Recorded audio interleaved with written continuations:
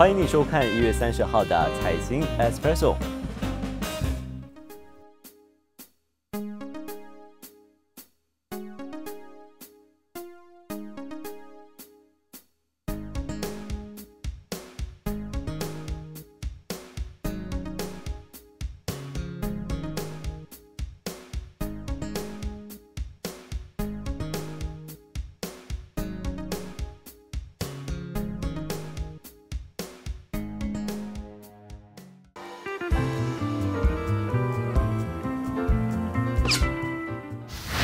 晚上好，我是醒龙。前财政部长敦达因在一月二十九号面控，连带让所谓没承报的资产也一并受到关注，其中就包括了他儿子达尼拥有超过百分之二十一股权的仙股海中天。海中天的业务涵盖酒店、旅游和房产等等，旗下拥有知名的波德森海中天酒店等资产。该公司的股价今天走低，以五点五仙迈步，随后降到五仙，并且以这个全天最低价位报收，一共下挫一仙或百分之十六点六七，共有超过三百八十五万股易手。过去一年，海中天重挫了百分之四十四点四四，远低于二零二三年一月三十号的九仙。截至二零二三年九月三十号止的最新六个月业绩显示，该公司净亏损从前期两百三十七万令吉扩大到三百万令吉。而外部稽查师更曾经在二零二三财政年稽查报告当中表达对该公司业务持续的担忧。海中天今天盘后回应说，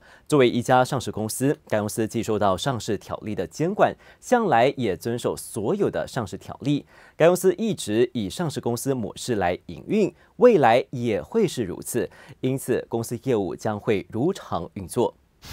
市场此前盛传，沙拉越政府将增持爱芬银行的百分之十五股权，将持股提高到百分之二十。而爱芬邀请媒体今午出席记者会，并注明沙总理阿邦佐哈利将在现场演说。同样将出席记者会的还有爱芬银行的总裁万拉兹里。市场人士就揣测，这和沙政府落实增持股权有关。不过，阿邦佐在会上只是说，沙拉越洽购爱芬股权的交易很快会敲定，并没有直接回应市场的传闻。无论如何，爱芬股价依然受到市场传言激励而走高。爱芬先以二令吉五十二仙高开，十点起买盘涌入，推高股价，一度冲高二十仙，触及二令吉七十仙，写下二零一七年七月一号以来的最高价位。闭市的时候收报二令吉六十二仙，全天仍起十二仙，挤进涨价榜的第六位，交投量超过一千八百五十八万股。